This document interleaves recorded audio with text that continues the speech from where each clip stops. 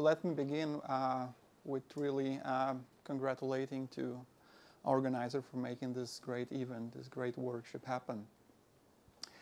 And uh, I'm going to, to speak today about our recent uh, paper uh, with my collaborator Tomasz. Actually, this is last November paper, a very recent one, and uh, which is about the relation between, between the gauge fields and quantum entanglement. And actually, the, the, the, analysis is pretty general, but I will discuss it in the context of gravity.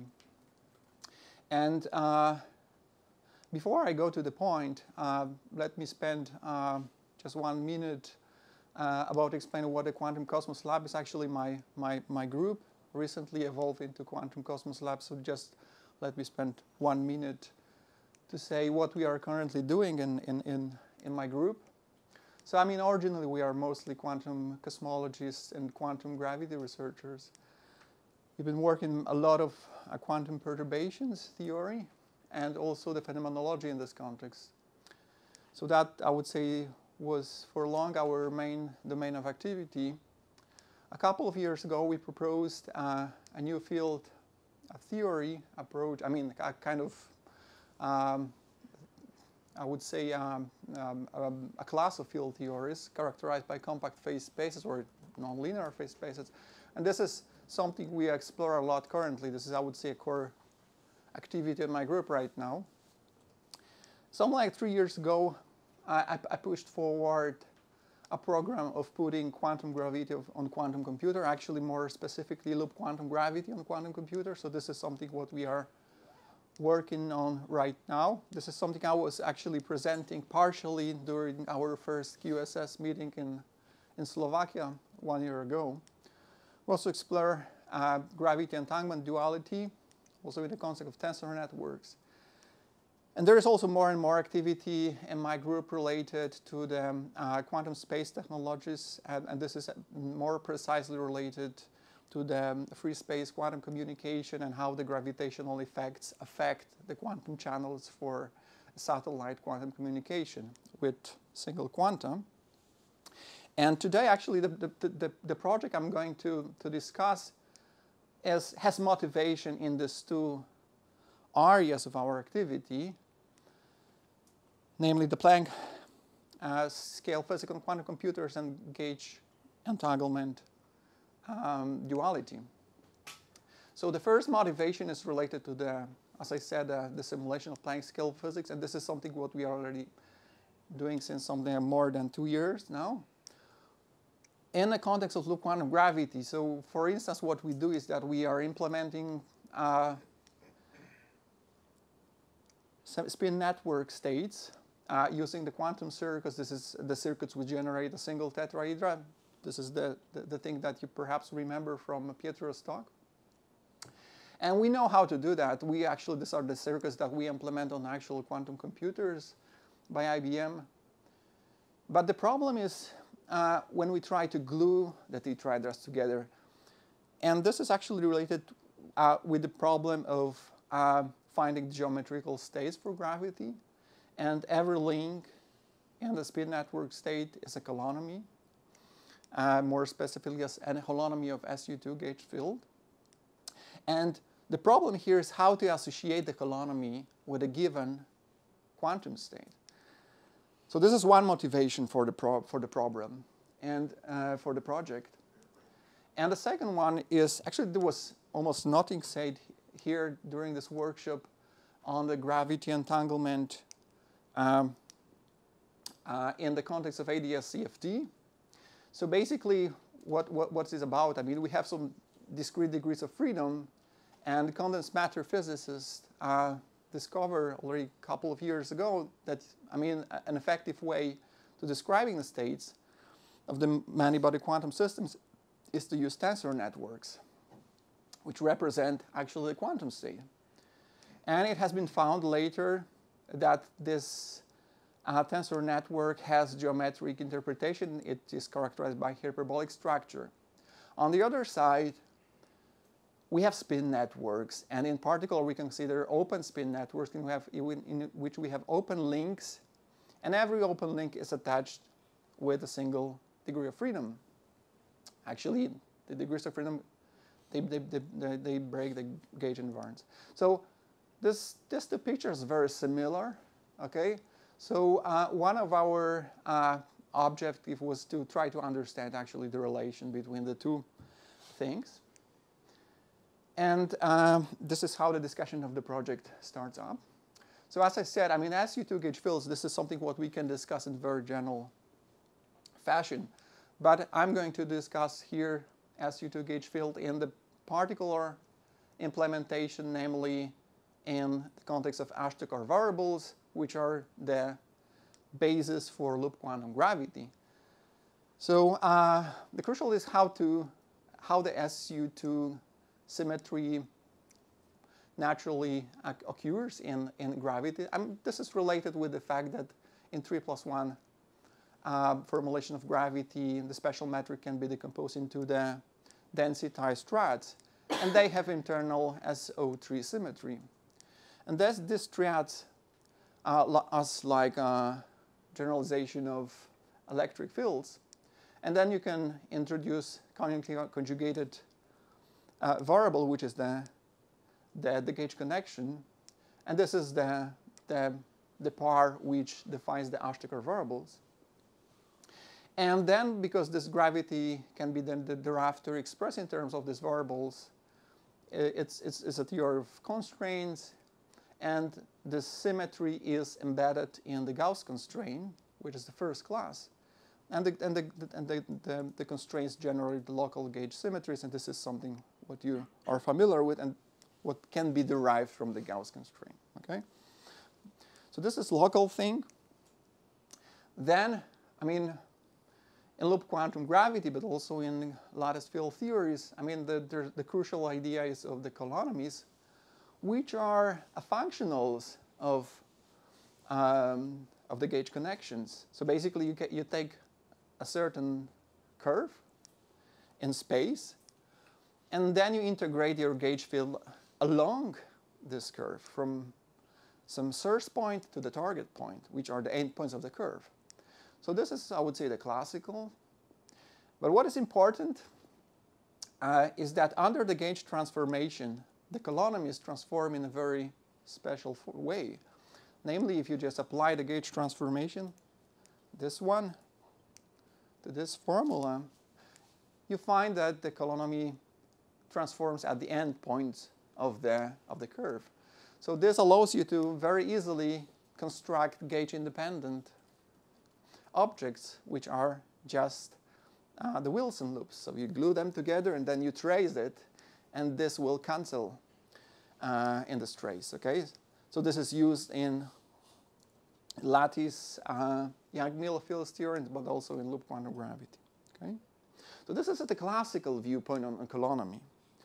But there is also quantum viewpoint on the holonomy, actually. And let me firstly, before I go to more general um, discussion, let me focus on the fundamental representation of SU2.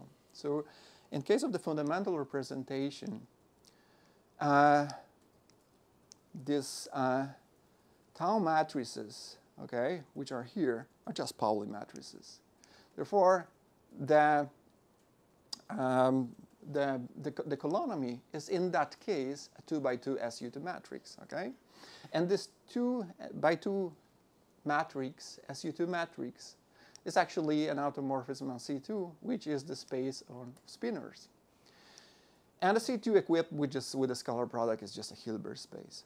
So actually what is this metric doing is that it's taking an element from the source uh, Hilbert space and it's mapping into the target Hilbert space. Okay, so the holonomy from the quantum me me mechanical viewpoint is just taking, just repeat it, just take a state from the source Hilbert space and map it to some new state in the, in the, in the, in the target. In this case of fundamental representations, the source and target are just the Hilbert space of qubits. But then, if you consider a general representation, these are two j plus 1 dimensional spaces. Okay? So this is the first important thing to note. And because this is a, this is a map, moreover, this is a unitary map, uh, you can decompose the holonomy in the basis of in the basis states of source and targets. So these are basically these are these states. Okay. And then you have some matrix elements. These are matrix elements of, of holonomy. You see that this object is belonging to the tensor product of the Hilbert, the, the, the source, Hilbert space, and the dual, because you have a bra here, okay? And then you can have different actions of this operator, of this map. You can have left-handed or right-handed actions, depending on whether you act on the bra or kets, okay? Acting from the left or hand side. You can also introduce the Hermitian conjugation, and this is convenient to introduce Hermitian conjugation, because if you take the Hermitian conjugation, which is actually introducing at the end the, the star, the complex conjugation to the hij here, uh, your right-hand side action is from the Hilbert space of source to the Hilbert space of target for kets, okay? So how it is act, you, I mean, let's, let's consider it for the not for the Hermitian conjugation, but for the H. Then you take the state, let's say you take a bra, you act to the left, and then you get uh, a new state, which is a certain superposition of the basis states in the target space. So, and target Hilbert spaces now are just the uh, Hilbert space of the fundamental representation of the CO2. Yeah, yeah, yeah, yeah, yeah. But you can generalize it easily. I mean, here, this means that this indices goes from 0 to 1, but in any representation, it just goes from 0 to j, to j plus 1, yeah. Okay. So then, I mean, basically what uh, this gives you, I mean, what the map is gives, gives you is that, let's say that you have a basis in the source, and then you have a basis, a given basis in the target. So let's say that uh, fictitiously, you move this uh, basis to, to the point of target, and then you decompose the, let's say, the one into the basis states of the target. I mean, the source basis states in the source in the in the in the, in the Hilbert space in the basis states of target, and this these coefficients are just the coefficients of the decomposition. And uh, one um, physical remark here, actually, what we are doing here is that we are taking a quantum state and we are moving a quantum state from the source to the target in a gauge field. And actually, what is happening, I mean, the fact that, that these Hilbert spaces are, are different is nothing, I mean, um, nothing strange. This is something what we expect. I mean, in, in case of, uh, let's say, the electromagnetic field, this is just a change of the phase of the particle, of, of the wave function, when we move it across the electromagnetic field. Okay, so this is something. This is a, I would say, the the, the known piece of physics. But of course, I I, I discuss here. I, I mean, I, I I fix some bases here, but of course, the physics is base independent. Okay, and we can change the basis both in source and in the target, okay? And let's, let's see what it will tell us, okay? So let's say that we, we change the Hilberts, we change the basis, we rotate it, let's say, in the source, and we rotate it in the target using the US and UT unitary operations, okay? So the question we can ask, how this will affect this, the map, the holonomy between the source and the target. And actually, this is the diametric representation of what is happening. So let's say that we have originally a Hilbert space at the source and the target, and then we perform some unitary transformation on the basis states, okay? And then we have some new Hilbert spaces, I mean, which are spanned by the new basis vectors, okay? And we would like to know what is the H prime, the new map, okay? Yes? In what sense is this quantum? It's not just a rotation of the points? I mean, you, you can say that this is, I mean, I mean, at the level of spinors, this is a rotation of basis for the spinors, but this is, this is a rotate, this is unitary trans, I mean, if you consider as, as, a, as a quantum state, these are just unitary rotation of the basis. Not just SO3 of the triads? No, no, we are, we are not, uh, at this point, we are at the level of the Hilbert space. It's not, not anymore at the level of the triads, okay? Maybe since it's the spin connection for, um, for, um, for instance, for the Dirac in space-time, there is this notion of spin connection that Mhm. works in similar way. I mean, actually, the spin connection is contributing to the definition of of uh, of Ashtekar connection. Okay, this is a part of the game actually. So so so uh, in, in in case of the grav in the case of interpretation of A in terms of the gravity, okay, the spin connection is actually entering to the to the definition. This rotation Wigner matrices that are in, in final representation, right? Or not? I mean, uh, in, in a sense, actually, because actually the, the holonomy can be decomposed into the va- ma- va- vi- Wigner matrices, okay? So this is actually a certain rotation of the Wigner matrix under the change of the bases be- be- because it has two indices, okay? So, and then you can play a simple game, okay? You just change the basis at the, defini- at the definition. And what you find is that the map transforms, this is the first important observation, the map transforms precisely as a, as, uh, as a holonomy, okay? So this is first thing to note. That, um, Sorry, Yeah. this is exactly what the holonomy does. It's like Exactly, exactly, exactly, exactly. I'm just, let's say this is, I'm, I'm, I'm, I'm just refreshing something, okay? That, that to make it clear, okay? That you, just to make it clear that holonomy transform in this way. But, but so far, I, I've been talking about the maps between the two Hilbert spaces. And now let me go to the point, okay? we have two Hilbert spaces, which are the source and the target, okay? And we can ask what are the states, the product states, I mean the states belonging to the product of these two Hilbert spaces, okay? And in, in general, you can discuss many different possibilities. But let me focus actually on, on this state, okay, this particular state, and I will uh, try to convince you that there is, uh, I mean, this, this, this, this, this state is pretty interesting, okay, and it can tell, tells us a lot. So what we have actually, in general, we could say that we have some coefficients h, i, j here, okay, but we restrict these coefficients to be uh, a matrix element of SU2 matrix, okay? So this is, this is restrictive on the form of the state, okay? And I will show in a second that actually this restriction leads to the fact that this state is maximally entangled, okay? And this is already no, something which is known in quantum information community. I found it in the book. Um, but okay, this was used in quantum information just for the purpose of, I would say, um, parametrization of maximally entangled states. Okay, just some kind of mathematical, um, you know, convenient way of writing the state. Okay.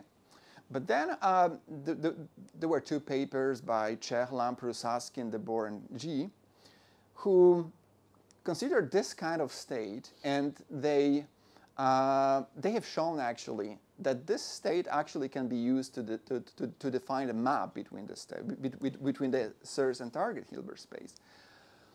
And then actually we, we improved the analysis in the paper and we, we, we, we introduced the gravitational context and, and thereafter we applied it to the spin networks. And so let me go further.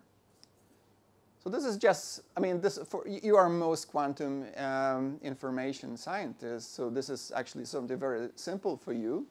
So you, this is just a proof that this is maximal entangled state. So you, you, you just construct the density matrix, you trace over the source and over the, the target in the symmetric way. And what is crucial that because this um, this uh, this Hij is are elements of special unitary matrix, this implies that this is a diagonal.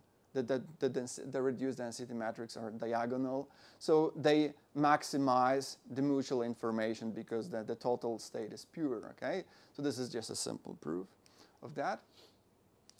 So let me now say, I mean, how this anti-linear map looks like, okay? Actually, there was, there was a mistake in the original paper of Ch- Czech and others. We corrected them, and this is actually a correct way to, to write this map. And um, so basically what you, what, what, what you take is that you, let's say this, this works, this is shown for, for bra belonging to the, to the source dual. Hilbert space, you take the state, you perform complex conjugation on the state, and then you map this state on that product state, okay? And then you get this, okay? So this is the action actually, this is the map, which is at the end precisely the action of the holonomy, but introduced by the state, okay? And then you can also perform, I just lost track. Wh- What was psi? the psi is, is uh, Psi is the psi is this state, okay? So you take a state, One fix uh, for a fixed date. Yeah, you, you, you, you fix the state, okay? And this state is parameterized by this Hij components, which are components of SU2 matrix, okay? And then what you do is that you define this, this map, okay? Which is a combination of complex conjugation. Actually, this complex conjugation introduces this antilinearity and this state, okay? And then if you project this state onto that state, only the uh, target part remains, and which is precisely the one that you get from the holonomy. Okay, so the, the, actually this state is doing the same what the holonomy do, does. And then you can also try to see what will happen with this expression when you rotate the bases, okay? And you derive this, and this gives you that the transformation rule is also precisely the, the transformation rule for, I mean, for these coefficients of the states, is precisely the transformation rule of gauge uh, symmet- of, of, of, of holonomy, okay? So based on that, you can conclude that this is actually a holonomy, okay? So uh, what we can say based on that? Actually, what are the conclusions so far? Let's say that you don't know anything about, uh, let's say, gravity, okay, or anything about the gauge fields, okay? But you know quantum mechanics very well, okay, and you know uh, maximally entangled states, okay? So you take the quantum, you, you, you take the maximally entangled state, which can always be written in this form. This is for qubits, but then you can easily generalize it to any higher dimensional system. And then you say that Hij, if you, I mean, and this is something what you can always do. You can always say that this psi state defines a map between the source and target. So therefore, in any case, you can say that this Hij transform under the change of basis in this particular way. So in the sense, this was something, maybe this is something trivial, but it was completely un, un, un, untrivial for us when we, when we realized about that for the first time, is that for every quantum maximally entangled state, you can introduce actually the notion of holonomy, okay? So wait a minute. So is the statement indeed that for um, any maximally entangled state, For, ma- for, every, for any maximally entangled state, only for maximally entangled state you states. can write in terms of coefficients of an SU2 matrix? Is that the statement? Yeah, I there's, wish- there's I- I a one-to-one correspondence between maximally entangled states and unitary matrices. Uh, let me show it uh, just to better understand it. Let me show an example, very simple example. Okay. so let's take a single state. Okay. Um, so in that case, the holonomy, the, the, the Hij matrix is precisely this matrix, which is just exponentiation of the Pauli matrix. Okay. And now uh, let us consider certain unitary operation at the source and the target. Okay, so in general, we have three parameter family of the unitary operation for qubits. Okay, but I mean for simplicity, let us let us uh, restrict to one parameter family, which are just rotations. Okay, but then you can easily generalize it. So let's take u theta, which is which are just rotations. And uh, let's fix that, that theta at the source is theta s and theta at the target is theta uh, t, okay? So then, because of this transformation property of, uh, sorry, of this matrix element, okay, which can always be introduced for the maximally entangled state, you can find, um, using these exponentiations, that actually your holonomy, your age, with five minutes, okay, which is exponent of the minus i pi over 2 sigma y, transform in this way. And this, I mean, assuming that there is a continuous change of theta between the source and target, is just, uh, sorry, is just, can be written as, as, as, as an integral of the derivative of theta. So we, so we can conclude based on, based on that, okay, that, that h can be written as a certain integral of something, okay, and where the integrand of this integral transforms under the change of basis just by minus i derivative of theta. But this is nothing uh, else than just a gauge transformation. So if you would uh, take this u, this particular u, and plug in into, let me come back to the original expression, to this, this differentiation would just give you the differentiation with respect to theta. So that, that's, that's, the, that's the expression. Of course, I restricted here to u uh, to, to the one parameter fam family of, of transformation for simplicity. Therefore, it looks like this is a u1 gauge transformation, okay? But this is just a remnant of SU2 um, constrained to this one parameter family. So so what we claim, claim in the paper is that starting from uh, actually consideration of maximally entangled state, you can abstract that they might be something as a gauge, like, like a gauge field, which transform in this particular form. And this transformation is reflecting actually the change of the basis, okay? So uh, how to understand this, okay? So uh, let's consider that we have a discrete system of, let's say, spins, let's say spin chain, okay? And then our theory is described by maximally entangled pairs. Like, let's say this one with some possible projections. This is like, a, let's say, PEPS um, uh, tensor network or something, but let's say, but what is crucial that we have maximally entangled pairs, okay? So in case you have maximally entangled pairs, you can say that because your physics, your measurements, okay, of your, I don't know, of, of your mean values of your operators are independent on the choice of their basis, okay, this uh, will be reflected at the level of the holonomies which appear here, which parameterize the state, precisely in the way the gauge transformation do. So uh, our conjecture that we push forward in the paper is that the gauge fields might be considered as a kind of continuous approximation to the discrete quantum system. So this all also uh, indicates that, you know, um, having a given condensed matter system, many-body quantum system, we, we, we ask what might be the effective descriptions of the given quantum, many-body quantum systems, okay? And for some, there are, let's say, Majorana spinors as of ineffective modes. For some, there, there are scalar degrees of freedom. We claim, okay, or uh, hypothesize based on that analysis that if your state of your system is described by maximally entangled pairs, okay, there is, uh, there is a chance that the, that the effective description might be in terms of the gauge fields, okay?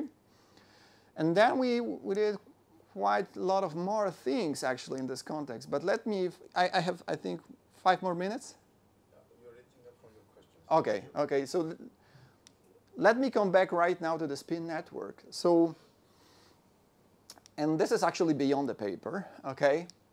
So, uh, now knowing that maximally entangled part can be related with the holonomy in, in this particular way, okay, you may say that if you have a spin network, you can consider states of a, of a spin network, okay, uh, such that your links will be attributed with this epsilon L states, which are just the state associated with the holonomies.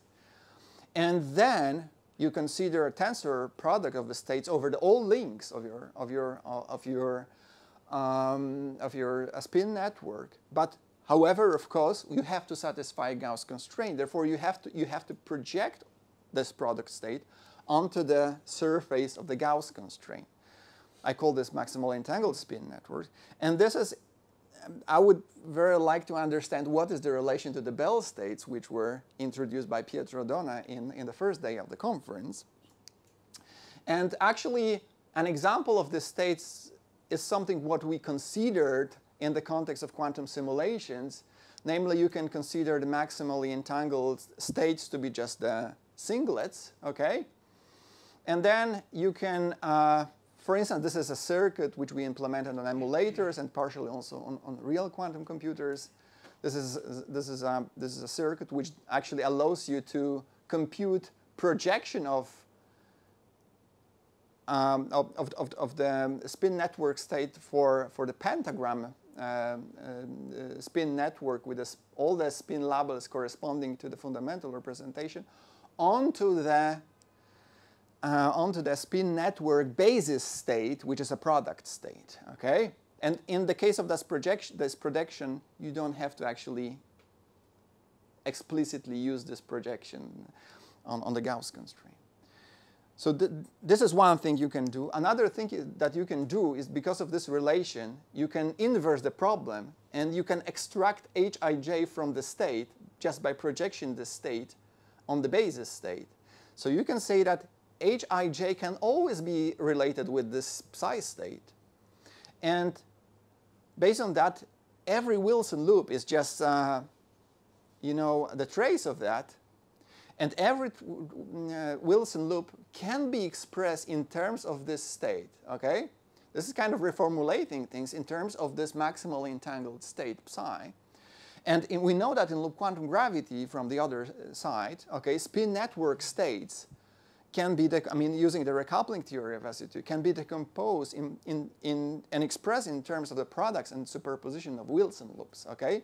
So this spin network state can be written using the, this size, okay? I don't know what the consequences are. This is something very new, okay?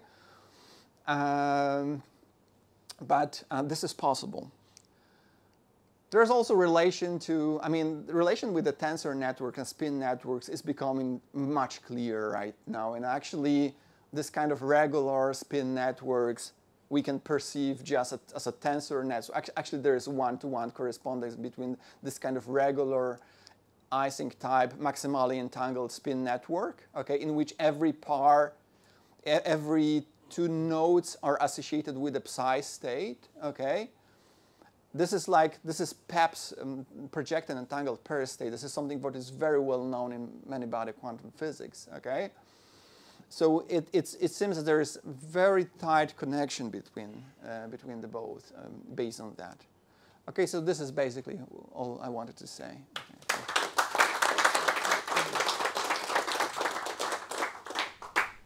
Um, so this is not really a question, it's more like a motivational comment or an advertisement. So I like it a lot in this talk, the fact that uh, this is one of the areas where one can kind of see where the intersection of, um, of the, the, the, the, things that people are interested in quantum gravity and the tools that have been used in quantum information can play a role and mm -hmm. we mm-hmm. can have a kind of a value out of this collaboration coming out that is kind of unique to this mm -hmm. place. So, so in a sense, what was crucial at the mathematical level here was this correspondence between um, unitary gates and maximally entangled states which is a very fundamental thing in quantum information. It's used a lot. Mm -hmm. And there is all a framework for dealing with this that has been developed uh, last 15 years. And also the framework of cate categorical quantum mm -hmm. mechanics is mm-hmm. pretty starts from this. Mm-hmm. This thing that you can move uh, operations around the maximally entangled state and transpose them and have all these, these kind of things that you are doing there. So I think all these things is something that we should find the time to discuss. Yeah, because it's really, yeah. really um, uh, so in, in, in, the hyperspace framework has been uh, sometimes called the, the, double ket notation, where you put uh, an operator mm -hmm. inside the double ket and mm -hmm. you mm-hmm. mean what you do in that way mm -hmm. by using the, the matrix element of the operator to mm-hmm. define a state. And there is an whole algebra of things that you can do that makes all these things very efficient. and again, inside the categorical quantum mechanics. And I also wanted somehow to advertise that uh, the talks in this afternoon are all pretty much playing around this technique of uh, encoding forward. unitary gates.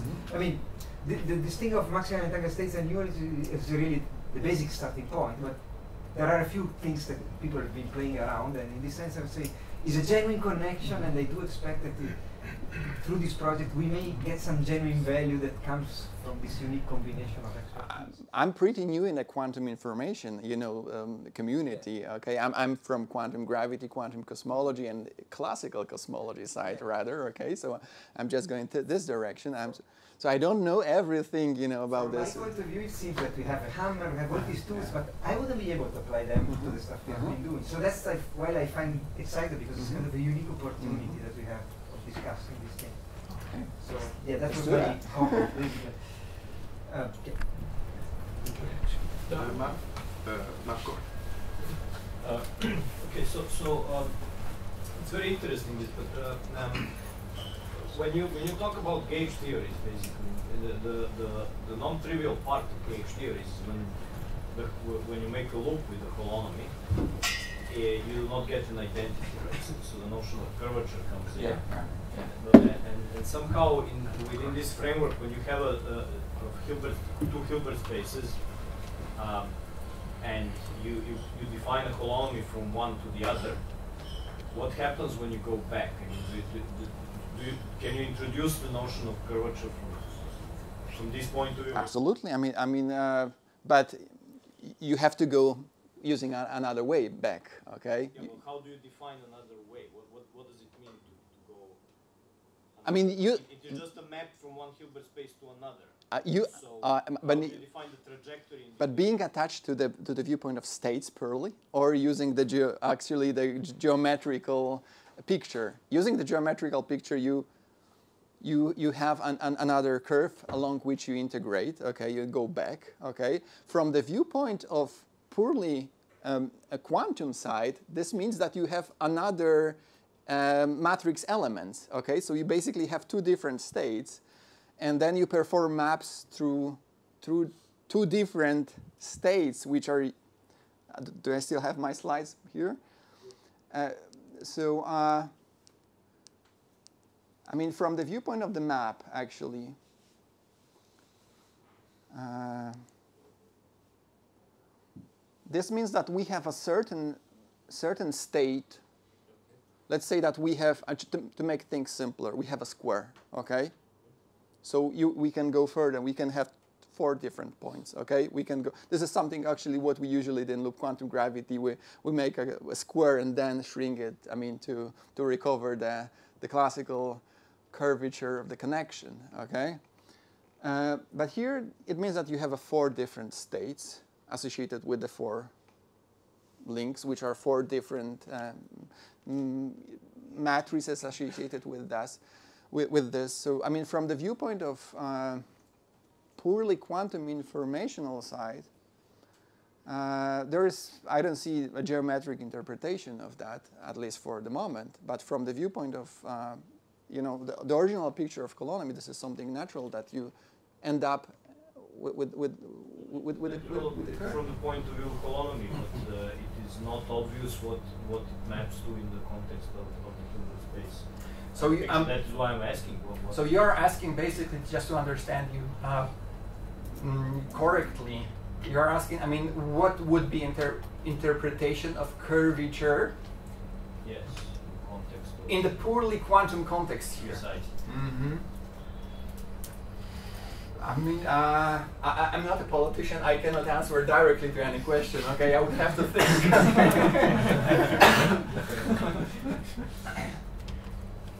Yes.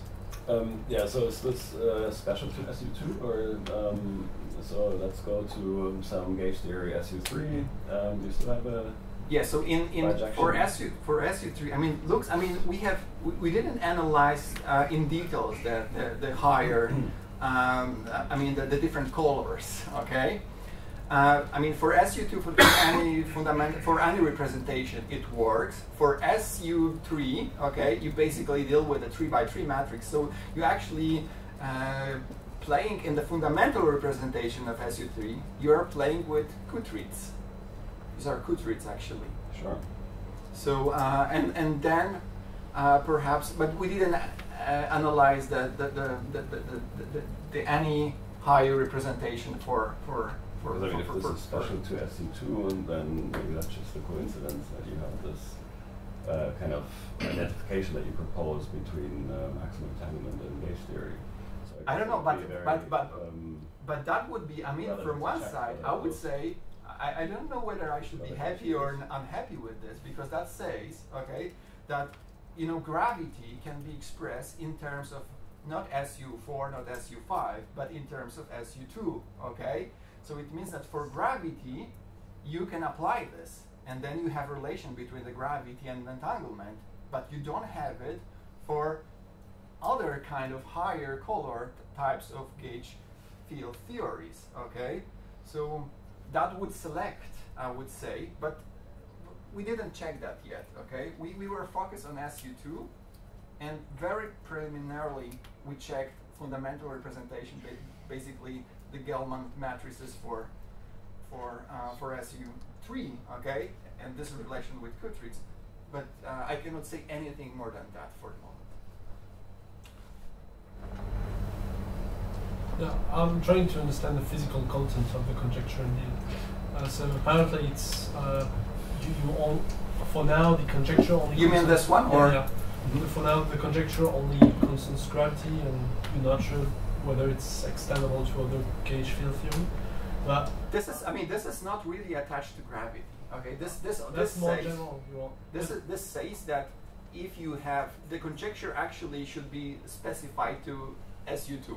Okay, there should be SU2 here. Okay, that if you have maximally entangled pairs, I mean, your quantum state of your many body quantum system can be built out of the maximally entangled states, then it looks like, I mean, uh, there is um, actually chance based on this, there's a hypothesis, okay, that it might have effective description in terms of the But you're saying that the SU3. gauge field would correspond to the coefficients of the entanglement, but it would be an entanglement between what? For instance, if my gauge field is photon, it's an entanglement between charged particles, or what would be the analogy? No, that, that would be uh, that, that, that, that, that would be I mean I would say that the true degrees of freedom for the field. Okay, let's say that you know you have let's say um, atoms in the lattice. Okay, which are true degrees of freedom. Let's say you have spins, but then you have the magnons. Okay, and the magnons are spin waves. Okay, which are not true degrees of freedom, not UV, not UV degrees of freedom, and they have a certain Lagrange, Lagrange and Hamilton function, okay, which is of the completely different type, okay, which might have description in terms of I don't know um, spinors and, and other particles. But in case in gra- of gravity, it's an entanglement between space-time points. In case of gravity, Yeah. This is precisely entanglement between the intertwiners. Okay, so in my in the in the case that I consider the rafter, okay, for instance, the, in the in the case of this spin network, which is actually reduced because I fixed here the spin labels to correspond to fundamental representation. The only degrees of freedom are the intertwiners. You see that they are two-dimensional Hilbert spaces at the at the intertwiners. Okay. Um, so, so actually, the, degrees, the, the physical degrees of freedom which remain at the end are, are, are those at the, at the nodes. And, and do you have in mind any analogy with the uh, ER equal EPR thing? I mean, this is actually, uh, if, you, if you take a look from the viewpoint of the boundary um, approach to, to, to amplitudes, this is basically the, um, the, the, the boundary of the, of the vertex in spin foams, E per L. Uh, No, I was I was referring sorry, to the conjecture of uh, Maldacena about the entanglement is. Uh, sorry. So I mean, I mean, I missed the class. I, I misunderstood the EPR, question. Like uh, I, I was referring to Susskind Oh, Susskind Susskind Mhm. conjecture. Oh, You know, so so this is actually related to that. Uh, so this is actually related to that, okay? Because the this is actually what you're asking about, and the EPR um, um,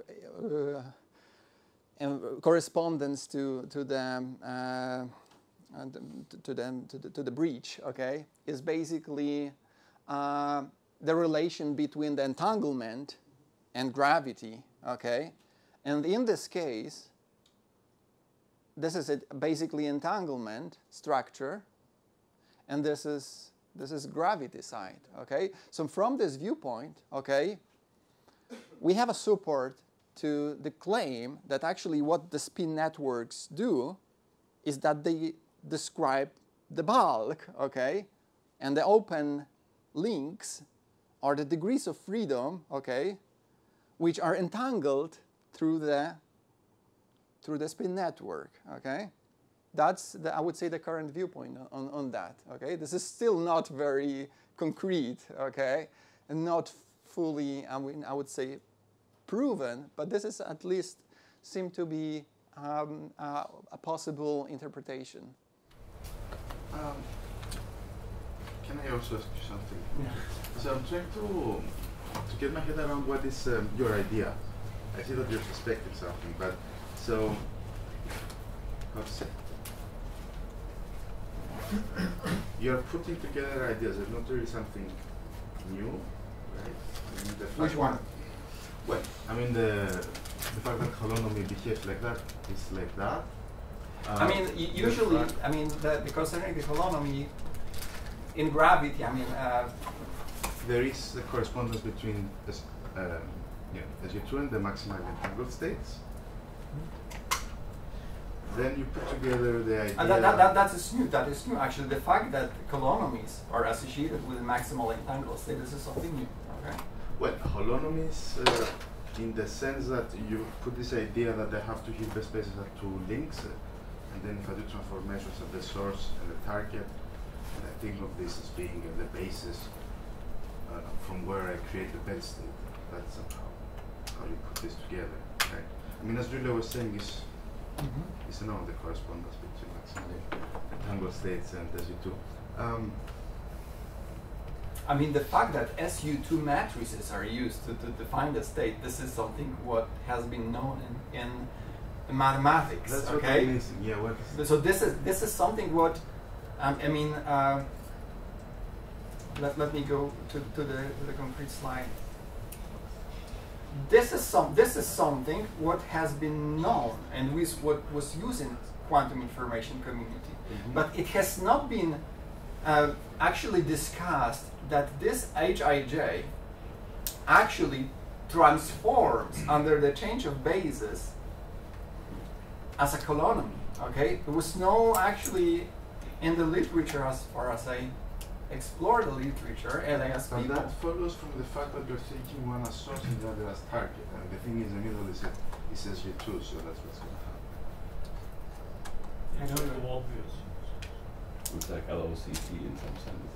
I, I, yes, so somehow I think. And that the one more thing, I mean, the content usually, the I mean, in quantum information community, this is not really distinguished that these are two different Hilbert spaces. This is crucial. That's okay? right. I think That's- that's yeah. putting together the yeah. ideas. So, yes. in usually you say that you have a flat space time, okay, and this Hilbert space and this one is the same, okay. There's no difference between them actually, and here we distinguish really between because these are two different Hilbert spaces because they are Yeah. at two different space points, okay.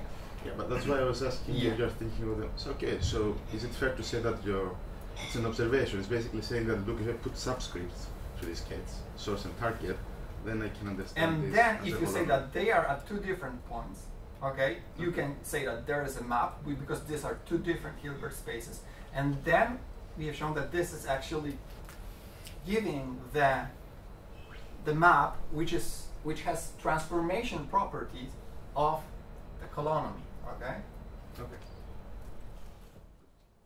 So that was something we glue together. We synthesize things. Okay, we synthesize things. Okay, our different, different, different things, and uh, and try to make a consistent picture actually of what's going on. Um, let's uh, let's let Yeah. the speaker again.